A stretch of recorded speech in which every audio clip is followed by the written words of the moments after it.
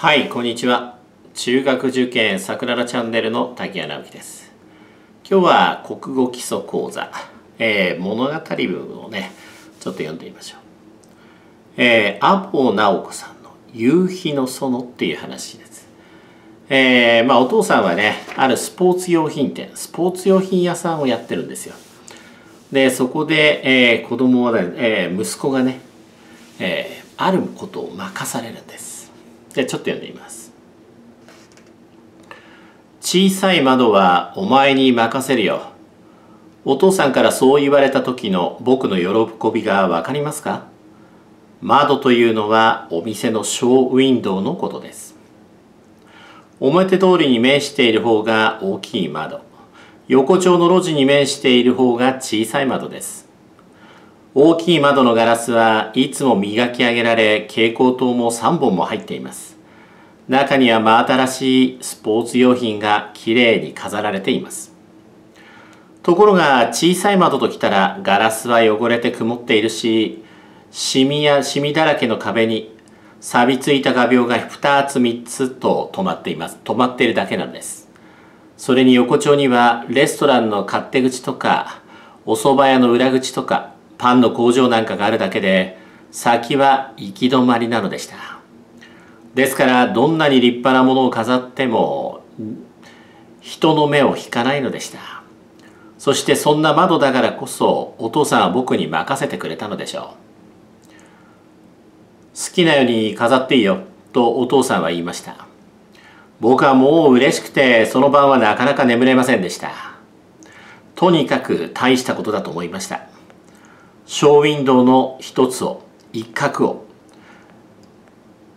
任せられた子供なんてこれまでに他にいたでしょうか翌日僕はいそいそとお店へ出てお父さんに言ったのですねえ小さい窓に飾る品物なんかない？そうだなお父さんは新しいボールの箱を開けながら気のない返事をしました。僕は急いそと続けました。テニスのラケットが一つちょうど入るんだけど、それともグローブとか、ああ、登山靴もいいな。するとお父さん言いました。ラケットはお前大きい方の窓に飾るんだよ。小さい窓はどうもガラスがきっちりしてない、きっちりしてないんでね。新しいグローブなんか入れても、埃だらけになってしまう。こうして結局僕が小さい窓のためにお父さんからもらったのは一本の縄跳びの紐と一足の運動靴だけでしたそれでも僕はいそいそと自分の窓を飾りました。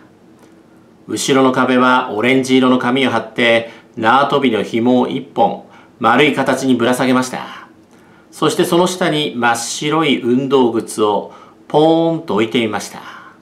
なかなか素敵です。さあスポーツ用品屋さんをやっているお父さんに、えー、まあ、目立たない方の窓をね、えー、お前は自分で作ってみろって言って任されて、まあ、喜んでるって話ですねこれね。はいじゃあ確認してみましょう。さあ何をお前に任せるとお父さんは息子に言いましたか？そう小さい窓。お父さんからそう言われた時の僕の喜びが分かりますか？窓というのはどこのショーウィンドウですか？そうお店のショーウィンドウのこと。表通りに面している方が大きい窓。横丁の路地に面している方が小さい窓です。大きい窓は、えー、窓のガラスの方はいつもどんな状態ですか？そう磨き上げられ蛍光灯も3本も入っています。中には真新しいスポーツ用品がきれいに飾られているんです。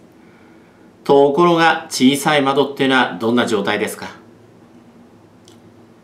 そうガラスは汚れて曇っているしシミだらけの壁に錆びついた画鋲が2つ3つと止まっているだけ。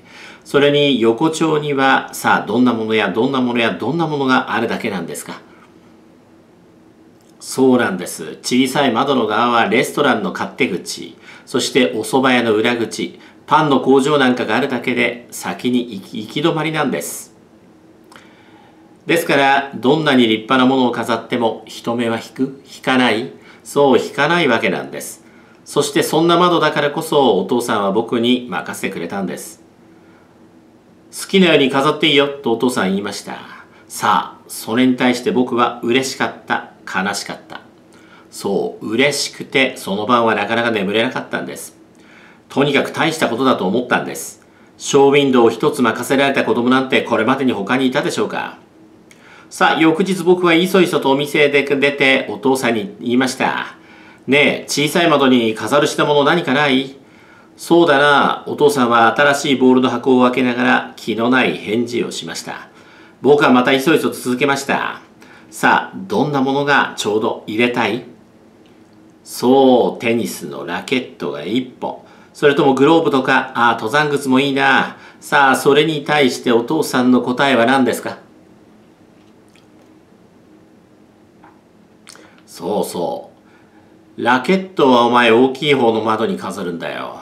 小さい窓はどうもガラスがきっちりしてないんでね、新しいグローブなんか入れても埃だらけになってしまうと言うんです。さあ結局、こう、えー、僕が小さい窓のためにお父さんからもらったのは何と何ですか？そう、一本の縄跳びの紐、そして一足の運動靴です。